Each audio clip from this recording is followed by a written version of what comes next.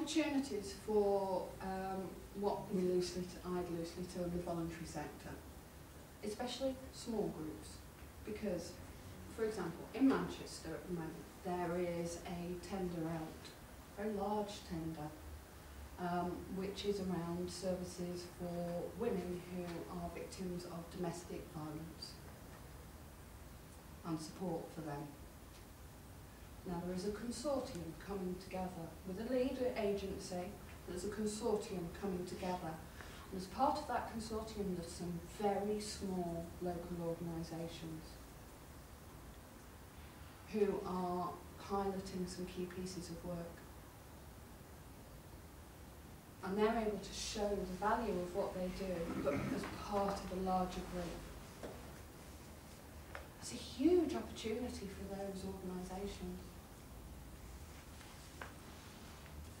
I've just put together a tender which is around a national pilot where I'm the lead agency, my organisation is the lead agency, but actually I'm working with 17 other organisations and I'm subcontracting to them elements of the work.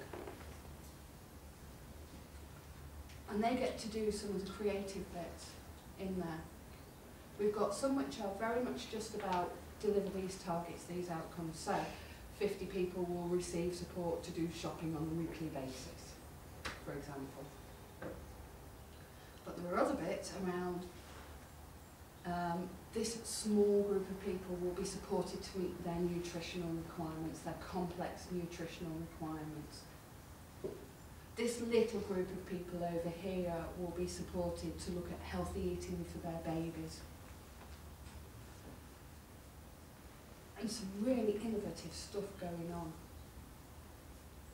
And some groups who just deliver really nice things to local people and are still going to be enabled to do that.